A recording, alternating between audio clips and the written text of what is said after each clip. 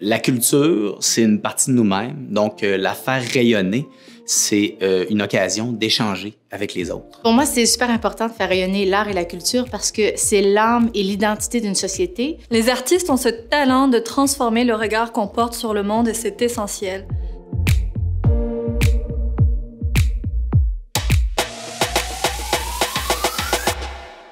Machine de cirque, c'est une jeune compagnie de cirque de Québec. On crée, produit et diffuse nos spectacles de cirque à travers le monde. Je trouvais que l'artiste de cirque interprète comme tel euh, avait pas assez de place comme concepteur. Donc moi, je voulais remettre l'artiste de cirque au centre de la création. La façon que j'influence positivement les gens qui m'entourent, c'est que je leur donne de l'importance. Je suis pas ici, moi, déjà en partant pour me battre pour mon idée. Je suis là pour me battre pour la meilleure idée, peu importe elle sort de la bouche de qui. Donc, quand les gens ont compris ça, ils sentent qu'ils font partie de la discussion, qu'ils peuvent proposer des idées, puis ils mettent leur ego de côté, puis ils se concentrent sur le succès du projet. Mon travail consiste principalement à produire et diffuser du théâtre de marionnettes pour les enfants de 2 à 8 ans à travers le Canada dans un autobus scolaire qui est transformé en salle de spectacle mobile.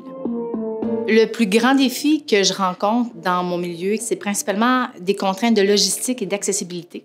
Parce que les enfants auxquels on s'adresse de 2 à 8 ans, la tranche de 2 à 5 ans, les déplacer, c'est difficile parce qu'on a besoin d'adultes accompagnateurs. Donc, la résultante de ça, c'est qu'il y a moins d'offres pour ces enfants-là.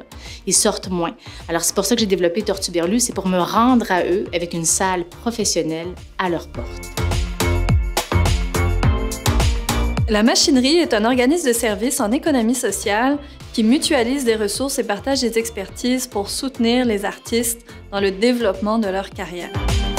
Mon métier de gestionnaire culturel est un métier inconnu.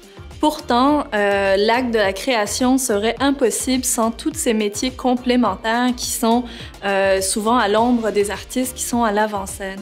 Alors mon vœu le plus cher, ce serait vraiment de revaloriser tous ces métiers puisque je côtoie au quotidien euh, tout un tas de femmes, d'hommes qui sont passionnés par leur métier et je salue vraiment leur rapport essentiel au développement de l'art ici au Québec.